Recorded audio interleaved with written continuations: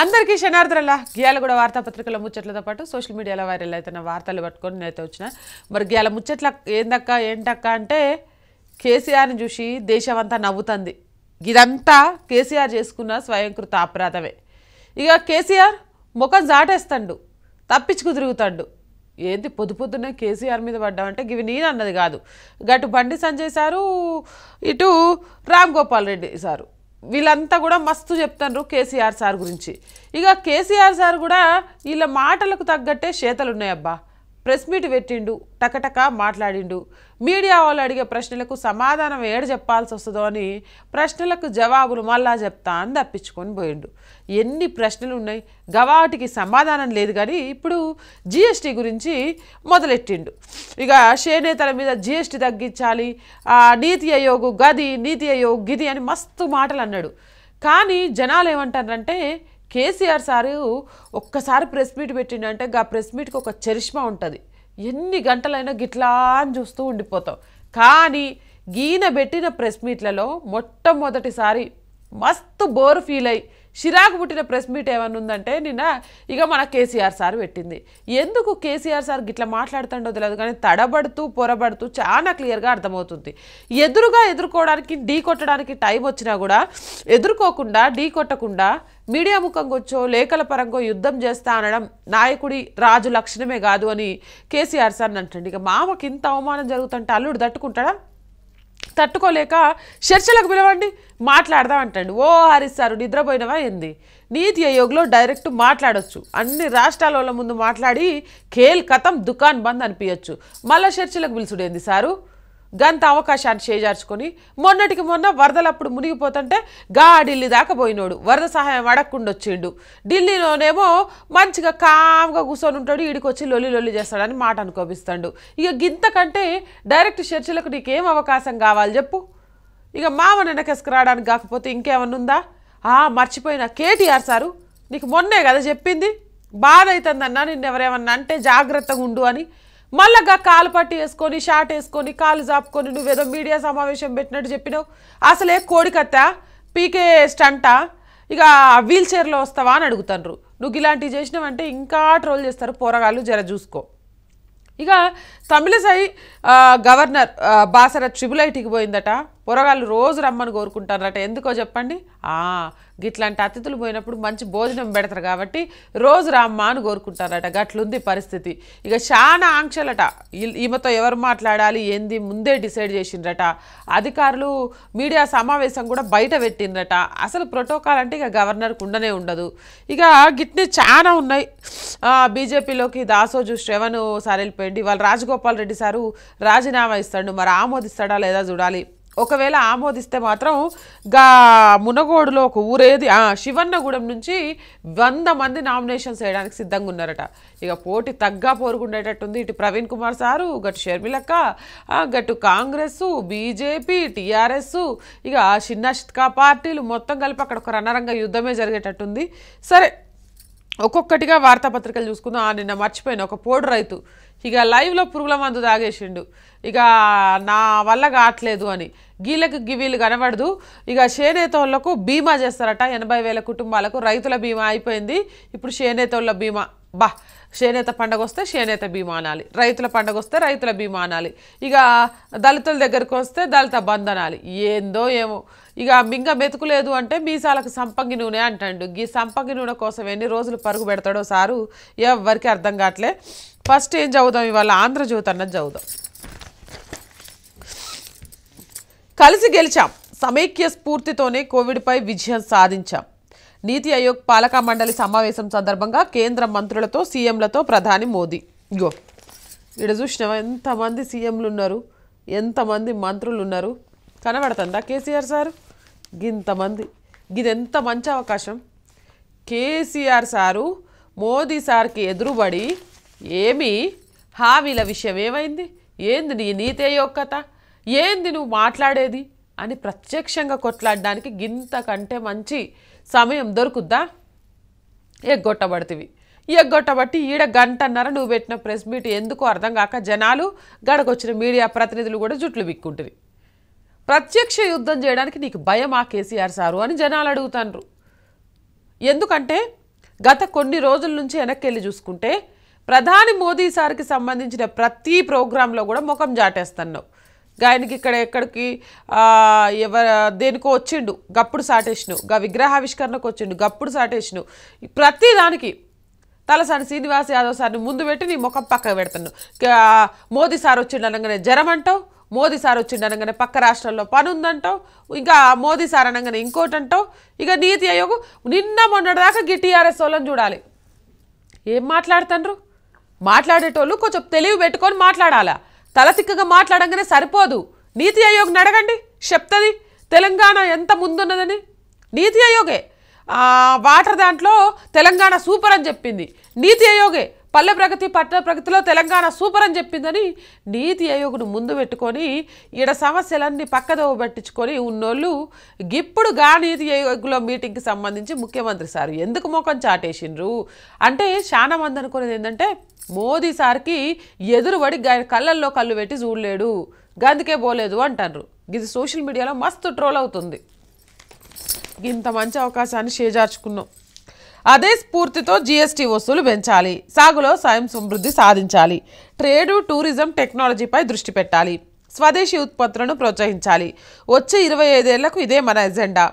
నీతి ఆయోగ్ సమావేశంలో ప్రధాని మోదీ మీ విధానాలను మాపై రుద్దొద్దు మమత. ఉమ్మడి అంశాలపై ఆ రాష్ట్రాలను సంప్రదించాలి.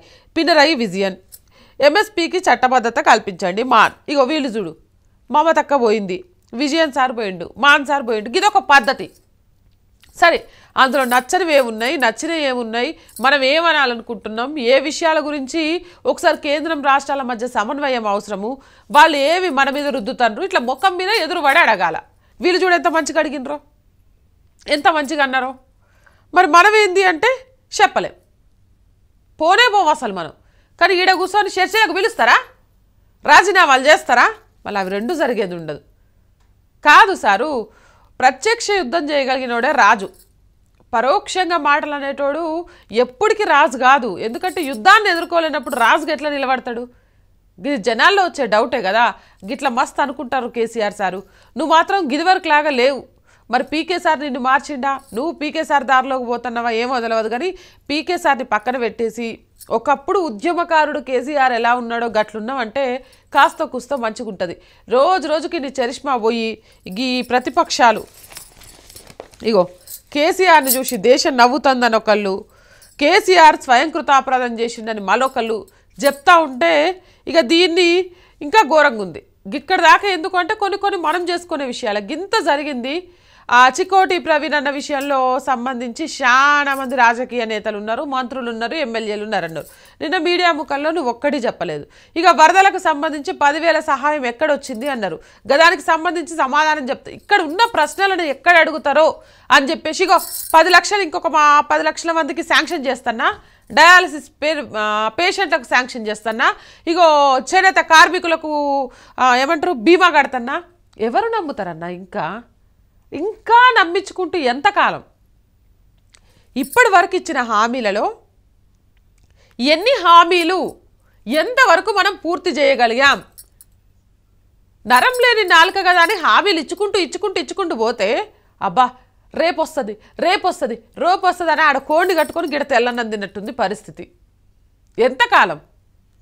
డబల్ బెడ్రూమ్లు చీర మార్చుకోనీకి ఒక రూము చుట్ట పొడొస్తే ఒక రూము కోడి కూర ఉండడానికి ఒక రూము.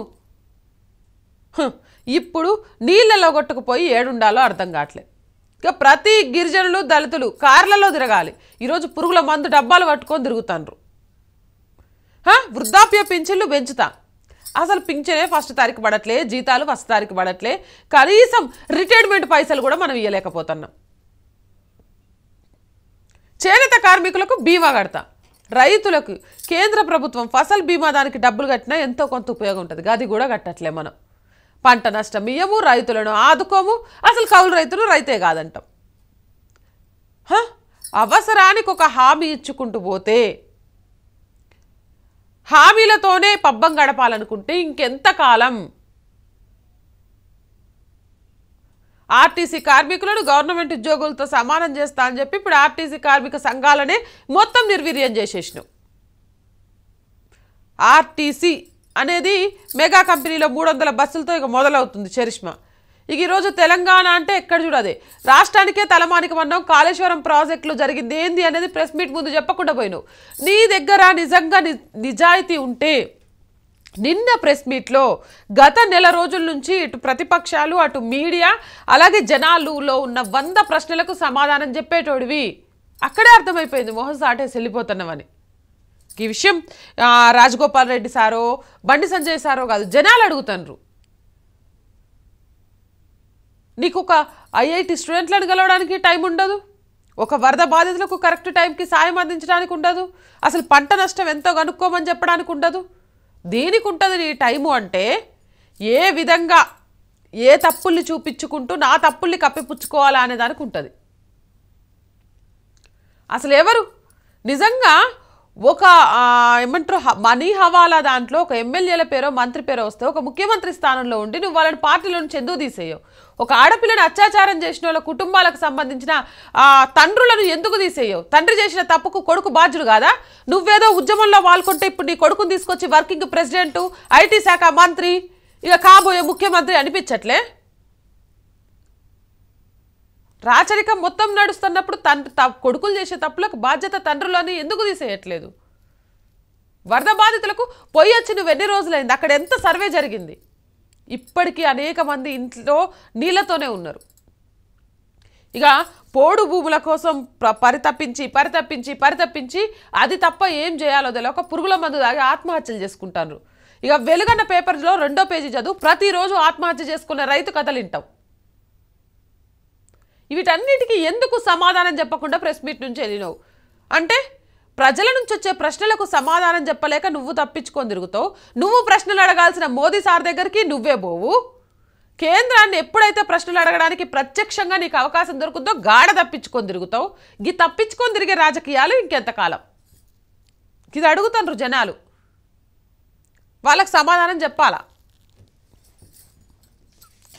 ఇవాళ తొమ్మిది జిల్లాలో కుండపోత. రెడ్ అలర్ట్ కొనసాగుతుంది. హైదరాబాద్ వాతావరణ కేంద్రం. మరో ఏడు జిల్లాల్లో భారీ వర్షాలు పడే అవకాశం. టీఆర్ఎస్ మోసం చేసింది. ఆదరించే పార్టీలో చేరుతా. Errabelli Pradeeprao mayor MLC MLA పదవులు ఇస్తామని మాటిచ్చి తప్పిండ్రు. చూసినావా? ప్రజలకే అనుకున్నా. పార్టీలోకి తీసుకునే నాయకుల్ని కూడా గింతే. ప్రజలకేమో పథకాలు ఎరేయాలి. ఇక కొంచెం పేరున్న నాయకులకైతే పదవులు ఎరేయాలి. ఏ నుంచి తెస్తావు? ఉన్నాయి నూట పంతొమ్మిది నియోజకవర్గాలు. ఎంతమంది ఎమ్మెల్యేలను చేస్తాను మాటిస్తావు? ఎంతమంది మంత్రులను చేస్తాను మాటిస్తావు? ఎంతమంది ఎమ్మెల్సీ చేస్తాను మాటిస్తావు? ఎందుకు చెప్పు? మన దుప్పటి ఎంతుంటే గంతే కప్పుకొని పడుకోవాలా. కాళ్ళు బార జాపినామనుకో ఏమైంది చలికి గజగజ ఉనుకుతాం ఎనిమిదేళ్ళు సిన్సియర్గా పనిచేస్తే అవమానించిండ్రు. ఎమ్మెల్యే నరేందర్ పదవ తేదీలోపు రాజీనామా చేయాలని డిమాండు. ఇగో ఎర్రబెల్లి ప్రదీప్ రావన్న ఇక నువ్వు బయటకు వచ్చిన సంగతి నువ్వు ఇక ఏ పార్టీలో చేరుతావు అనేది పక్కన పెడితే టీఆర్ఎస్ ఎమ్మెల్యేని రాజీనామా చేయమంటే అది సాధ్యమయ్యే పనే కాదు. ఎందుకంటే మళ్ళా గెలుస్తాం అనే ఆశలు వాళ్ళలో చాలా తక్కువ ఉన్నాయి. గలాంటప్పుడు చివరి రోజు వరకు గా సీట్ని ఆస్వాదించాలని చూస్తాండ్రు. నువ్వు పదో తారీఖు కాదు నువ్వు డెడ్ లైన్ ఏది ఇచ్చినా సరే శిషి ఇట్లా దులుపుకొని అట్లా వెళ్ళిపోతారు తప్ప డెడ్ లైన్ ఇచ్చిండు రాజీనామా చేసి నేనేందో నిరూపించుకుంటా అనేంత లేదు. ఇక మొత్తానికి ఆశలు చూపినాకున్న నాయకులంతా ఆ ఆశలు అరి ఆశలే మినిమం విలువ కూడా ఇక్కడ దొరకదు. ఇక్కడ ఒక రాజనీతి అనేది లేదు అని చాలా క్లియర్గా తెలుసుకొని ఒక్కొక్కరుగా పార్టీ వీరుతుండ్రు. సేమ్ ఇదే. ఒక నాయకుడైనా సరే ఒక ప్రజలైనా సరే ఎవరైనా సరే ఒకటే ఒక సూక్తి. హామీలు ఇవ్వాలి ఆశలు రేపాలి లాక్కోవాలి అవసరం తీరిపోయాక మూలకు గుస్సోబెట్టాలి ఇదే పరిస్థితి. అందుకే ఈరోజు పార్టీని వీడుతున్న నాయకులు ఉన్నారు. మండనలు పోగొట్టుకుంటూ ఎవరు ముఖ్యమంత్రిగా చరిష్మా కోల్పోతున్న వాళ్ళు ఎవరని ఈరోజు చిన్న చితక యూట్యూబ్ ఛానళ్ళు కూడా యూట్యూబ్లో సర్వే పెడుతున్నాయి. కేసీఆర్ సార్ పేరే వస్తోంది.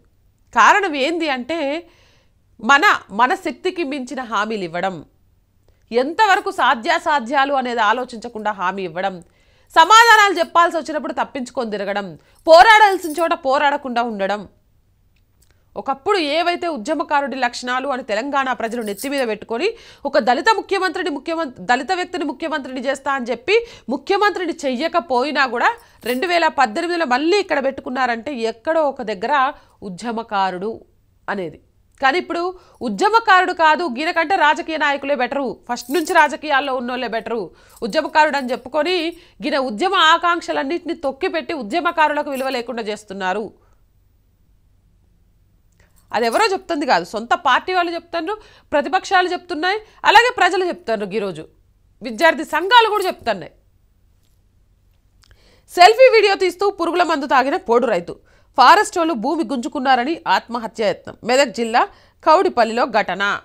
ఆ వీడియో ఇక ఉంది నా దగ్గర కానీ నేనే వేయలేదు తీసుకురావడం మర్చిపోయినా. ఒక రైతు ఒక వ్యక్తి రెండు వేల పదిహేనులో పోడు రైతులకు సంబంధించి చట్టం తీసుకొచ్చినాం. మన దగ్గర జీవోలు అయితే ఉంటాయి కానీ వాటిని అమలు చేయడం మాత్రం రాదు. ఎక్కడున్నావమ్మా? ఓ గిరిజన మంత్రులు గిరిజన ఎమ్మెల్యేలు. ఏడమైనరు ఎంతమంది పరామర్శించి వచ్చిండ్రు అరే వరంగల్లో గా పోరగాడు చచ్చిపోగానే ఏమంటారు శవయాత్రకు బయలుదేరి వెళ్ళిపోయినరు పోడు భూముల కోసం ఒక గిరిజన బిడ్డ ఆత్మహత్యకి యత్నిస్తే గా గిరిజన మంత్రులు ఎమ్మెల్యేలు ఏడమైనరు అవసరం లేదా మీకు? ఎన్నికలు వస్తేనేనా? ఎంతకాలం? మీ కమిటీ ఏమైంది? ఏమైంది? టీఆర్ఎస్ పార్టీలోకి చేరితే టీఆర్ఎస్ పార్టీ వాళ్ళకు ప్రతి జిల్లాలో మంచిగా బిల్డింగులు కట్టుకోవడానికి స్థలం. దాని మీద మస్తు కాన్సన్ట్రేషను. పది రూపాయలకో ఒక్క రూపాయలకో గజం చొప్పున. కానీ ఈరోజు పేదోడు ముఖ్యంగా గిరిజనులు ఎక్కడో ఊరవతల అడవుల్లో వాళ్ళకంటూ పెట్టుకున్న పోడు భూమిలో వ్యవసాయం చేసుకుంటూ గాడే బ్రతకడం తెలుసు. వాళ్ళని తీసుకొచ్చి గీ హైదరాబాద్ ఒక సిటీలోనో వేస్తే నిజంగా వాళ్ళు బతకలేరు. వాళ్ళు అడిగింది లేదు. మాకు పక్కా ఇల్లు ఇమ్మని అడగలేదు. లేకపోతే మాకు పెన్షన్లు ఇవ్వండి అని అడగలేదు. లేకపోతే మాకు ఏం చేస్తారు అని అడగలేదు. మా పోడు భూముల్ని మాకు వదిలేయండి. మాకు తెలిసింది అది మాత్రమే. ఒక మంత్రి ఇల్లు కనబడట్లేదని చెట్లు నరుక్కోవచ్చట. కేసీఆర్ సారు హెలికాప్టర్ దిగడం కోసం ఎకరాల ఎకరాలు చెట్లు నరకొచ్చట. కానీ పోడు చేసుకునే రైతుల భూములు మనం ఆక్రమించుకొని ఫారెస్ట్ అధికారులతోటి చెట్లు పెంచిపిస్తామట. ఏంది సార్ ఇది? ఎంతకాలం ఇట్లా? ఎంతకాలం? ఎంతమంది రైతులు అట్లా ఆత్మహత్యలు చేసుకోవాలి? అసలు పోడు రైతులకు సంబంధించి సమస్య పరిష్కారం చేస్తారా చేయరా? ఎన్నికలు వచ్చినప్పుడు మళ్ళీ హామీ ఇస్తారా? ఇగో గిట్ల ఎన్నికలు అయిపోగానే గట్ల మీ అందరికి రిజిస్ట్రేషన్లే. ఏమంటారమ్మా అనగానే? ఇక సత్యవతి రాతోడమ్మా గా వాళ్ళంతా వస్తారు.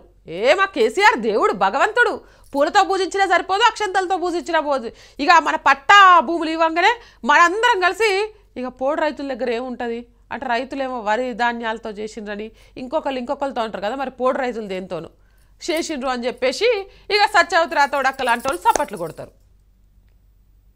అంతే కదా? ఈరోజు కులాన్ని మతాన్ని రాజకీయాలకు వాడుకుంటూ రాజకీయ నాయకులుగా ఎదుగుదామనుకుంటున్నారు తప్ప మనిషిగా బ్రతకాలి మానవత్వం చూపించాలి అసలు మనిషికి జంతువుకున్న తేడా ఏంటి అనేది మర్చిపోయి సమాజంలో బ్రతికేస్తున్నాం. కేసీఆర్ని చూసి దేశం నవ్వుతోంది. సమస్యలుంటే నీతి ఆయోగ్ మీటింగ్కి వెళ్ళి చెప్పాలా. అసలు మీటింగ్కే పోకుండా కేంద్రాన్ని విమర్శుడేంది? CM కేసీఆర్పై Bandi Sanjay fire. BJP వస్తే చేనేత వస్త్రాలను కొంటామని హామీ. ఇక గిందులో మాత్రం వాస్తవం అబ్బా. ఒక్క విషయం ఒప్పుకోవాలి.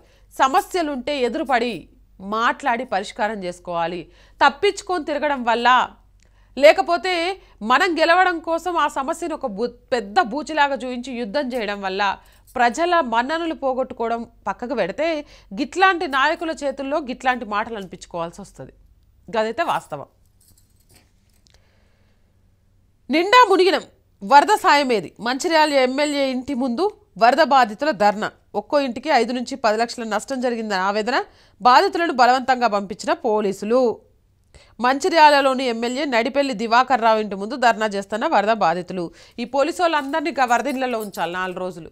బలవంతంగా పంపించే పోలీసు వాళ్ళందరినీ ఎమ్మెల్యేల ఇంటి ముందు నుంచి జనాన్ని పంపించడానికి లేకపోతే వాళ్ళు చేసే మీటింగుల దగ్గర జనాలు ఏం చేయకుండా కావలాగాయడానికి వాళ్ళు వచ్చే ఏరియాలలో రూట్ క్లియర్ చేయడానికి వాళ్ళ ఫామ్ హౌస్ల ముందు కాపలాలు గాయడానికి? దీనికి తప్ప నిజంగా ఈరోజు ఎంతమంది పోలీసులు గుండెల మీద చేసుకొని ప్రజల కోసం పనిచేస్తున్నాం అనేది ఆలోచించుకోండి. ఎమ్మెల్యేలకి ఏంది పెద్ద పెద్ద బిల్డింగ్లు? ఎంత బాగుంది చూడు. లోపడున్నాడు. ఓటు ఓటు అవసరం వచ్చినప్పుడు మాత్రం గల్లీలోకి పోతాడు. సంటి ముడ్డ సడ్డి బిడ్డ ఎవరైనా దొరికితే ముక్కు తుడుస్తాడు. ఇక ఎవరైనా అవ్వ కనబడితే ముద్దు పెట్టుకుంటాడు. లేకపోతే వంట చేస్తాడు కట్టెలు మోస్తాడు మస్తు చేస్తాడు. ఎన్నికలు వస్తాయి. ఇప్పుడు యశస్వి బురదలో పోతామా మనం? వాట్ హెల్త్ ఖరాబ్ అయిపోయింది రోగాలు వస్తున్నాయి. నేను ఎమ్మెల్యేని. నేను బాగుంటానే కదా నా నియోజకవర్గం బాగుండదు. అందుకే మంచిగా గింత సల్లో కూడా ఇంట్లో ఏసీ వేసుకొని కూర్చుంటా అంటాడు. ఇగో గిడ చూడు. జగన్ అన్న దగ్గర నుంచి మమతా బెనర్జీ అమ్మ దగ్గర నుంచి ప్రతి ఒక్కళ్ళు ఎంత మంచిగా దండాలు పెట్టుకుంటూ ముచ్చట్లు పెట్టుకుంటూ వాళ్ళ రాష్ట్రాల సమస్యలు చెప్పుకుంటూ అసలు నీతి ఆయోగ్లో ఏమేమి మారుస్తే బాగుంటుంది ఏం చేస్తే బాగుంటుంది అనుకుంటూ మోదీ సార్ మంచిగా నమస్తే పెట్టుకుంటే ఎట్లున్నారు? గిది కదా ముఖ్యమంత్రుల లక్షణం. పోవాలా కలవాలా సమస్య ఉంటే తేల్చుకోవాలా సఖ్యతగా ఉండాలా మంచి షెడ్యూల్ మాట్లాడుకోవాలా గట్లుండాలా? గీడ కొదిలేదు గవర్న వదిలేసి గీడ యుద్ధం చేస్తుంటాడు గీనా. అసలు రాజకీయ అనుభవం లేదు కాస్త కూస్తో జగన్ అన్నే బెటర్ అనిపిస్తుంది ఇట్లా కంపేర్ చేస్తే. వ్యవసాయ రంగంలో స్వయం సమృద్ధి సాధించాలి ట్రేడ్ టూరిజం టెక్నాలజీపై ఫోకస్ పెట్టాలి. ఓకల్ ఫర్ లోకల్ అనేది పొలిటికల్ ఎజెండా కాదు అందరి ఉమ్మడి లక్షణం. రాష్ట్రాల ఆందోళనకు నీతి ఆయోగ్ స్టడీ చేస్తుందని వెల్లడి మీటింగ్కు హాజరు కాని సీఎం కేసీఆర్. హాజరైతే కదా. హాజరు కాకుంటే పెద్ద ఏముంది? సీఎం కేసీఆర్ది నిరంకుశ పాలన. రాష్ట్ర ప్రజలు తీవ్ర ఇబ్బందులు పడుతున్నారు. బీజేపీ అధికారంలోకి రావాలని కోరుకుంటున్నారు. బీజేపీలో చేరిన దాసోజీ శ్రవణ్. శ్రవణ్ చెరుకతో పార్టీకి మరింత బలం వివేక్ వెంకట స్వామి మొత్తానికి ఒక్కొక్కరిగా ఏ పార్టీని వీడిన నేతలైనా సరే బీజేపీయే కరెక్ట్ అనుకొని వెళ్తున్నారు. ఇక రాజగోపాల్ రెడ్డి సార్ గురించి చెప్పిండ్రు మనోళ్ళు. ఏమని? ఏదో కాంట్రాక్ట్ వచ్చింది అందుకని ఇక దాసోజీ శ్రవణ్ సారు ఇక మన టీఆర్ఎస్ వాళ్ళు కాంగ్రెస్ వాళ్ళు మొత్తం ఇప్పుడు నువ్వు ఏం బిజినెస్ చేస్తున్నావు అనేది చూస్తారు. నువ్వేం చేస్తున్నావు? గా బిజినెస్కి ఈ మా సంవత్సరం నుంచి ఏదైనా కాంట్రాక్ట్ రావడం ఏదైనా జరిగిందనుకో మాత్రం నువ్వు కూడా గందుకే చేరినావంటారు బీజేపీలో.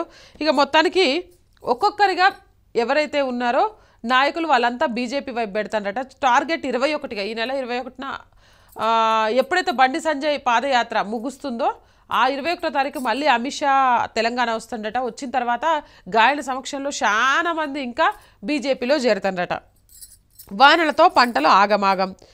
చిన్న బండ్లు వద్దు పెద్దవి ముద్దు. ఎస్ఎస్ఎల్వి తొలి మిషన్ ఫెయిలు. ఇగో.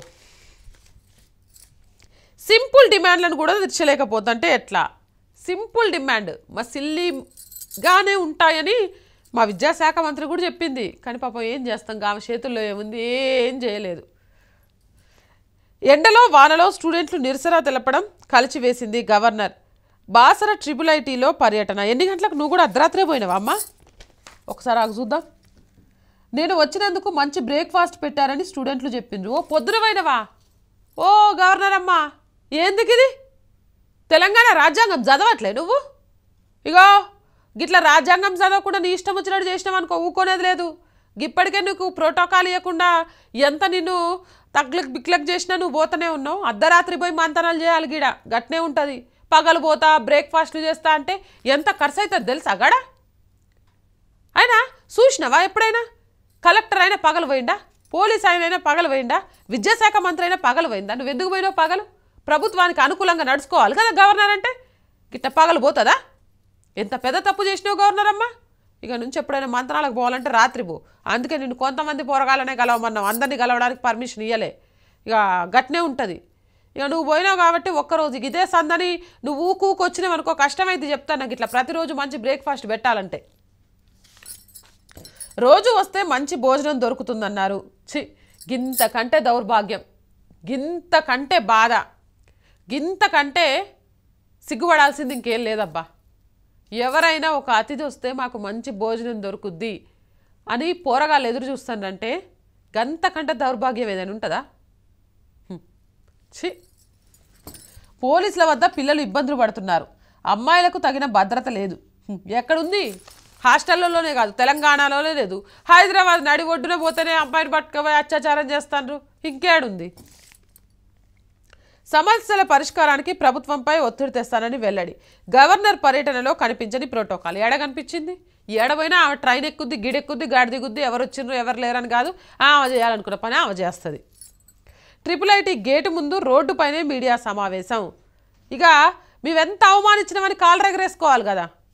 ఎగరేసుకోవడానికి ఉంటారు వాళ్ళు ఎంత అవమానపడతారు దీనివల్ల? ఎంత ప్రజల ముందు అవమానాలకు గురవుతారు అన్నది మర్చిపోతారు ఏడైతే ఆమె చేయాలనుకుంది చేసింది. నిజంగా బా లీడర్లు అంటే ఏసీ కావాలి లేకపోతే ఫ్లైట్ కావాలా ప్రెస్ మీట్ పెట్టాలంటే ఒక బిల్డింగ్ కావాలా సమస్య తెలుసుకోవాలంటే అర్ధరాత్రులు పోవాలా లేకపోతే రూమ్లలో పెట్టి తాళాలు వేయాలా కాదు. ఈ విషయంలో మాత్రం గా రోజు సబితా ఇంద్రారెడ్డి అక్క పోయినప్పుడు ఈరోజు గవర్నర్ అమ్మ పోయినప్పుడు ఇద్దరు పోయినప్పుడు చెప్పిండ్రు.